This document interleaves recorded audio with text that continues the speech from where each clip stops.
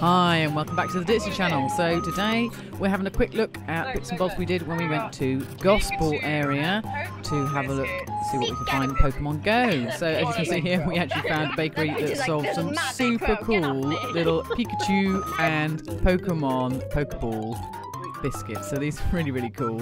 Uh, the kids had great fun with these loads were eaten. And then there's a little reptile centre here. And as you can see, this was the first time we ever seen a, a wild Pikachu. And, well, you'll see what happens, whether or not we catch him in a second. But there's some very cool lizards uh, to, for the kids to look at as well while they were waiting to see if we actually caught this Pikachu or not. So there we go, our first ever Pikachu. We managed to get him. Took a great ball to get him, but we got there in the end.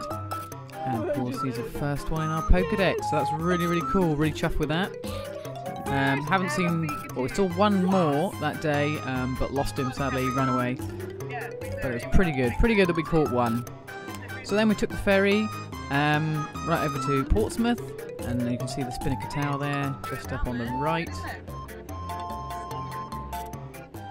Just coming into Portsmouth. There it is, the Spinnaker Tower, which we will go up the top of shortly to see what we can see. And of course, the very, very cool glass floor. As you can see there, Ditzy May tentatively walking across there, and Ditzy D. And look at that view, isn't that great? Look at that. So we're right at the top of the tower there, and we caught quite a few cool Pokemon up there. That is amazing. And had a look at the spectacular views all across the Portsmouth area. Very, very cool to see all the boats and all the city. Down there is Gunwharf Quays, and some Tentacools, and some seals, and all kinds of uh, the usual water Pokemon you'd expect in the area. And uh, most of them seem to be uh, trying to escape from me, as you can see there. That one broke free. Um, it was quite tricky, but we did actually catch a lot more. Actually, 67 in total um, for the whole day, and that was pretty awesome. And that's my first ever Vulpix there. So that was awesome. But yeah, we caught we caught 67 in total, in, in, including our first Pikachu and our first Vulpix.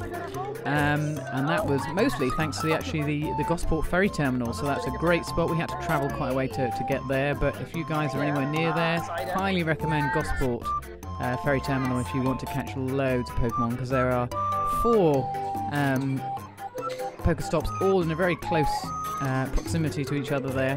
And everyone is literally, you go over there and everybody's just sitting there playing Pokemon, so it's quite funny. It's uh, almost like the London parks, full of Pokemon players, so very cool. And obviously, all, all lured up. Every single Pokestop had a lure on it, and there was just Pokemon popping up left, right, and centre. So it was absolutely fantastic. Here we go. There's another another water Pokemon, a seal popped up. Try to catch him way above all those boats up there. There's Ditzy Ozzy braving his first crossing of the, the glass floor. He needed a carry for that, bless him. And look at that. Fantastic views. So I hope you enjoyed that, guys. Uh, stay tuned for more and subscribe um, to see loads more Pokemon. Thanks for watching. Bye for now. Ditzy Channel!